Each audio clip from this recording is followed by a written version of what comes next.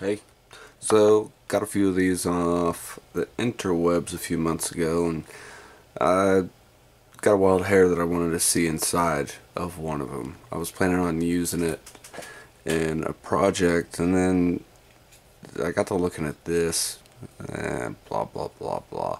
I was pretty peeved that it was such a pathetic wattage rating on this thing when it's pretty hardcore sturdy metal. The whole fucking thing's a heat sink, basically. So I got to drilling, and boom, it's pretty interesting. Um, I haven't reverse engineered this. Uh, haven't really wanted to because mainly it would take a long time, and I don't care that much. But look at this. I thought this was really cool. They have triple layers on here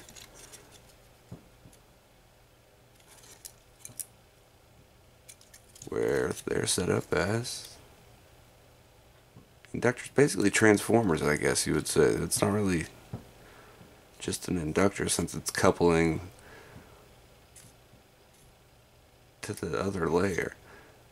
But there was a couple strange parts in here, like that capacitor. Thought that was pretty cool. Thought it was a little weird that they had a couple DPAKs and they had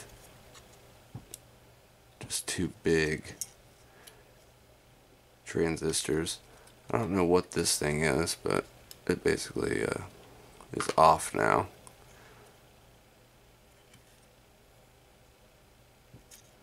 Big cap over there, little inductor.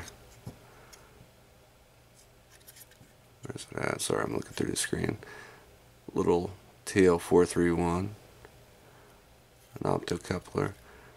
And obviously they use this board for a couple different designs. They have another optocoupler spot and then a bunch of empty footprints over here. But yeah, you can see if I can get this up close enough.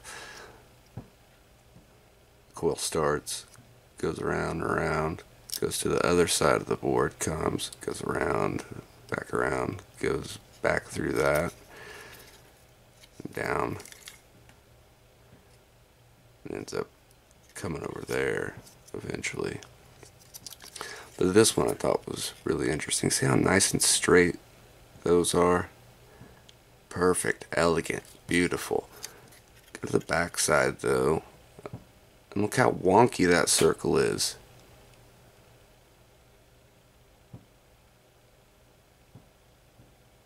It's like they were drawing that one out when they were having a seizure or something. I don't know.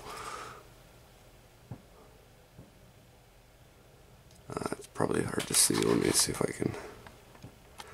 There we go.